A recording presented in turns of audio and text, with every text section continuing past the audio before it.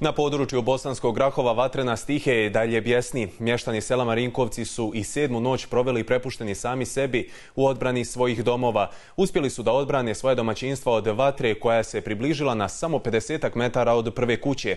U toku noći vatrena stihija se proširila i prema samoj opštini Bosansko grahovo, ali je uz pomoć mještana i radnika šumarije požar ugašen.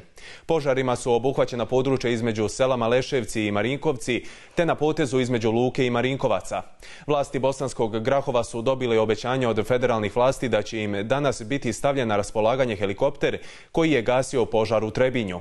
Cisterne za gašenje požara obećale su i susjedne opštine, ali dodatne brentače i pomoć radnika šumarije. Obavio sam razgovore telefonske sa načelnicama susjednih opština, drvara, istočnog drvara, Glamoča, Tomislavgrada.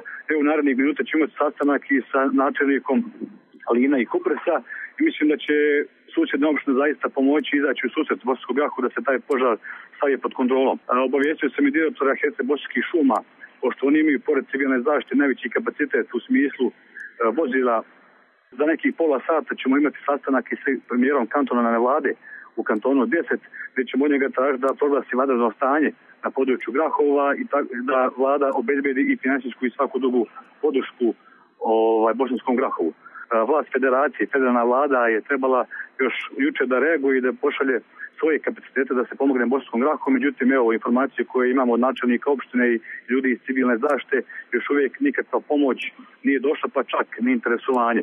Ljudi iz Drevara i civilne zaštite su me obavijesti da su obavješteni oružane snage Bosne i Hercegovine i vrlo moguće da će ukoliko bude potrebno vojska Bosne i Hercegovine postoji jedan helikopter koji bi mogao raditi na gašenju toga požara.